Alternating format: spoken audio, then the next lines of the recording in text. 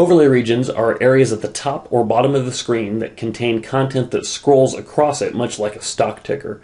Uh, these regions can contain text, date and time information, current weather if used with one of our op- optional hardware weather stations, and also uh, current news and weather forecasts with our subscription data feed packages. Overlay regions are considered global to the entire project, meaning that they're treated independently from the page content. Uh, to access overlay regions, simply click on the Project Properties button and select the Overlay Region tab. Up to four regions can be enabled. We have T1 and T2, top 1 and top 2 will of course appear at the top of the screen. B1 and B2, bottom 1 and bottom 2 will appear at the bottom if enabled.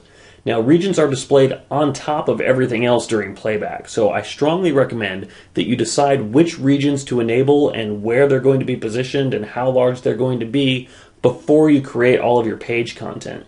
If you don't, you may find that when you turn on a region after the fact, it might obscure some text on certain pages. Then you'll have to go in and make edits, moving text around so that they're uh, out from behind the regions that you've turned on. If you turn on the regions first, you'll avoid all of that mess. So we can simply select a region and then click on the enabled box to turn it on. So this one is already enabled. You can select an appropriate speed. I'd suggest starting with medium and seeing how that works for you.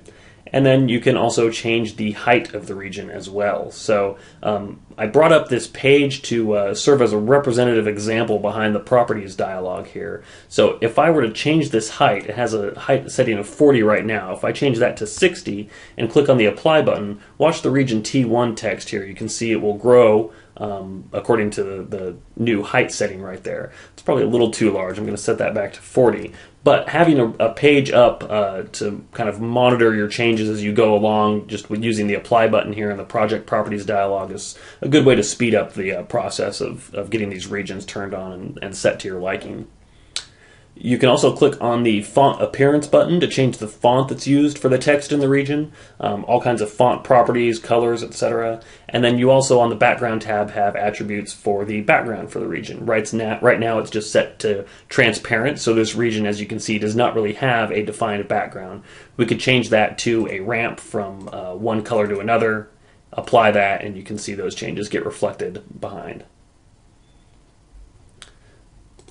So as we add content to an overlay region, it's going to appear in the bottom portion of the overlay region tab down here as a list.